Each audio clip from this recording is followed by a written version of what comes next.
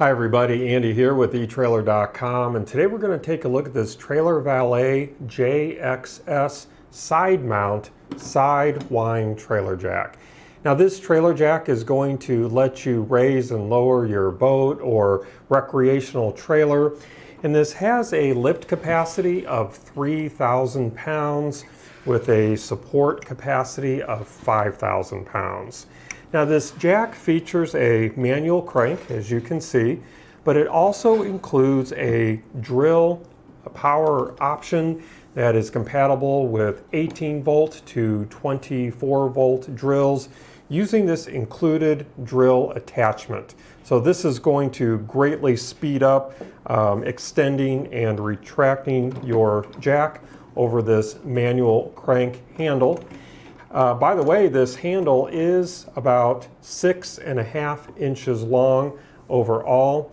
And the overall height from the top of our jack to the ground that it's uh, sitting on uh, in the, the retracted position that we have it in right now is sitting right at about 23 inches.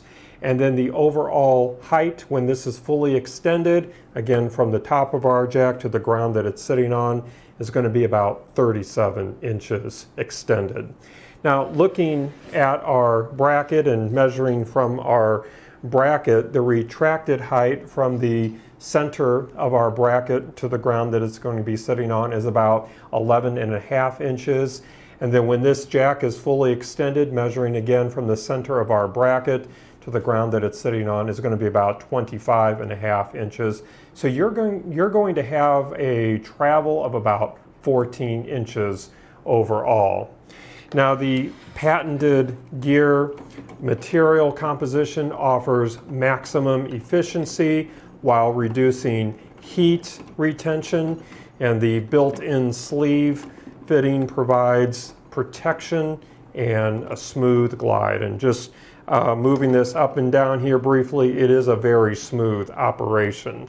This does have a gear ratio of 3 to 4 and the tubular swivel design is going to let you twist this jack up for storage and then down for use when you remove the included pin and clip here. Now taking a look at our bracket here, I do have this kind of loosely connected just so you can get an idea of what this is going to look like. The maximum uh, frame size fit is going to be right at about four and three quarters inches tall. And then the maximum depth is going to be about three and three quarters inches deep. The bolt holes are going to be separated on center about five and a half inches horizontally. And our vertical mounting holes are going to be separated on center by one inch each for a total of five inches from the top hole to the bottom hole on center.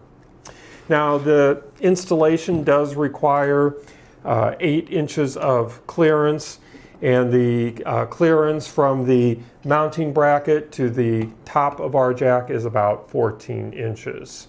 Now this does include a foot plate which is going to be which is going to prevent this jack from sinking on soft ground and our foot plate measures seven and three quarters inches long by about four and a quarter inches wide.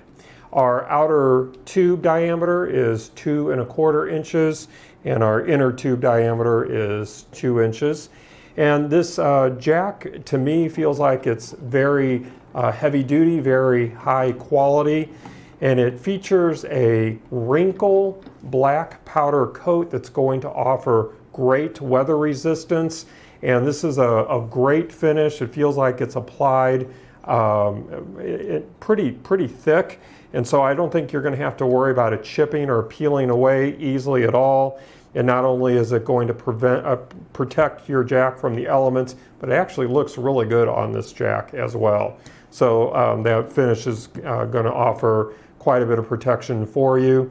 This does include instructions and uh, if this meets the specs that you are looking for, I think this is going to be a great jack for you to consider. Well, that's going to conclude our look today. I do hope that it was helpful for you. Again, my name is Andy. Thank you for joining me.